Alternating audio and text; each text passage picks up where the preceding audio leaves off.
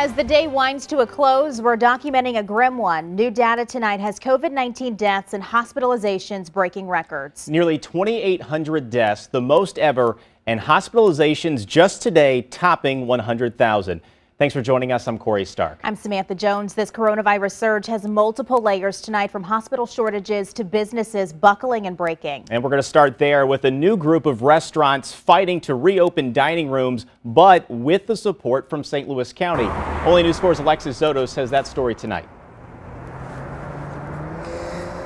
So here in downtown St. Louis, restaurants remain open for dine-in, and that's because the city's health department insists that they are not finding the contact tracing data that shows that transmissions are happening inside restaurants and bars. And that's very different from what St. Louis County Health Department is finding in their contact tracing.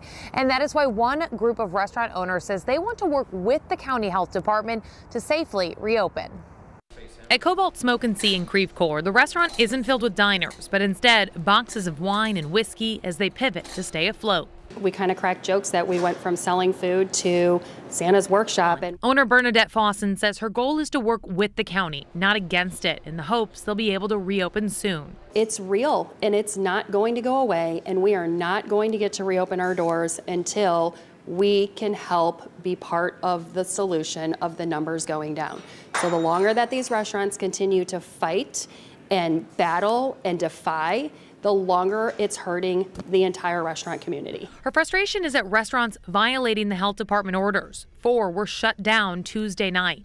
Faasen and other restaurant owners met with the county health department this afternoon to work together on solutions. They heard us. That was the biggest thing we wanted. News 4 has repeatedly asked for specific dates and places from the health department on contact tracing efforts that show transmission is occurring inside bars and restaurants. There are many many scientific studies. County Executive Sam Page again avoided giving specifics today. When we asked the health department, they sent us this quote, I don't currently have that information as our case investigation contact tracing team is focusing more time on talking to patients and contacts and less time on parsing the data we collect.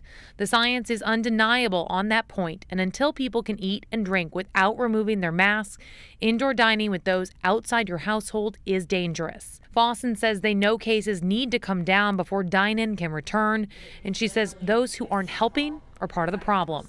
It literally makes my skin crawl because I personally just went through COVID myself and it was very, very hard to get through. I never in a million years thought it would take me down the way that it did as a healthy and fit female, but it did.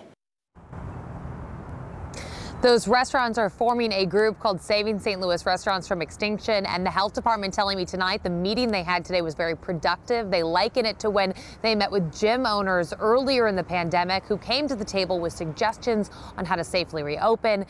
Count on News 4 to continue following what happens next with the health department and this group of restaurants. Reporting live, Alexis Zotos, News 4.